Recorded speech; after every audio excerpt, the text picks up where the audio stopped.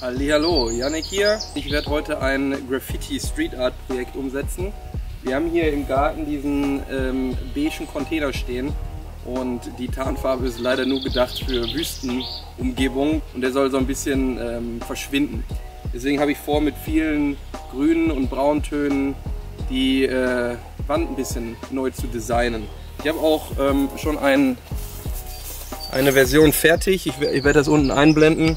Also vom Prinzip zwei Kinderköpfe, die sich gegenseitig angucken im Indianer-Design. Hintergrund ist, wir haben hier einmal im Jahr ein Sommercamp, das Indianercamp und ich fand das passte thematisch ganz gut. Lehnt euch zurück, viel Spaß und jetzt geht's los.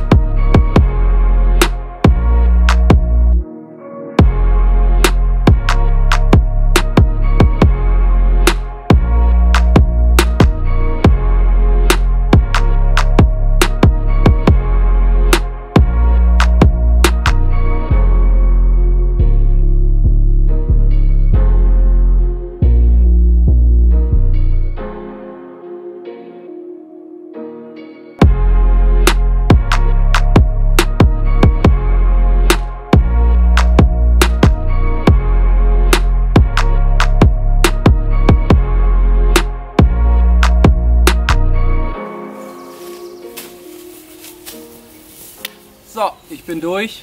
Wie man sieht, ein Mädchen und ein Junge, die sich gegenseitig angucken. Indianer. Ich bin ganz zufrieden mit meiner Arbeit. War mein erstes Mal so ein großes Projekt. Ja, ich hoffe, euch hat es Spaß gemacht. Waren jetzt ja, viereinhalb Stunden Arbeit, fünf Stunden, bestimmt.